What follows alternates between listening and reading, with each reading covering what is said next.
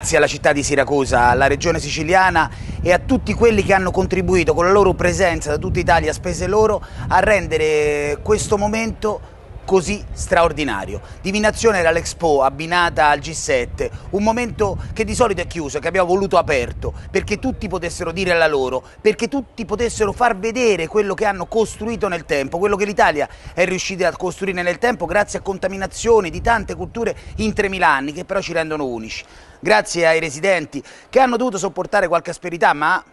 avranno la soddisfazione di sapere che il mondo parla di Siracusa, parla di Ortigia, parla di una città straordinaria. I siciliani che hanno sofferto in questi mesi una siccità difficile da sostenere, in particolare per il mondo agricolo,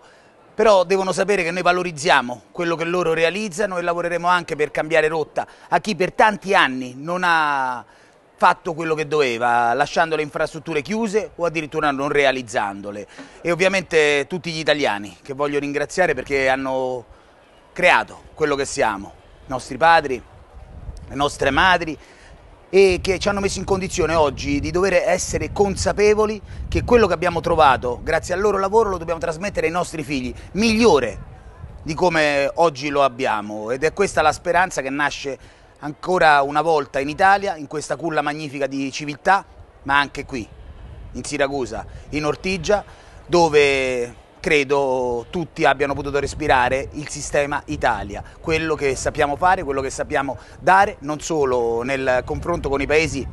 più ricchi, tra quelli democratici, ma anche con un rapporto importante, forte, con il continente che è di fronte a noi e che con noi deve crescere per garantire a loro autosufficienza alimentare, crescita della ricchezza, a noi nuove prospettive, nuovi mercati, in un clima che permetta anche di risolvere tante criticità del pianeta. Vogliamo un mondo migliore e non si può chiacchierare, fare gossip, pettegolezzi, bisogna lavorare a questo scopo e questo è quello che facciamo ogni giorno.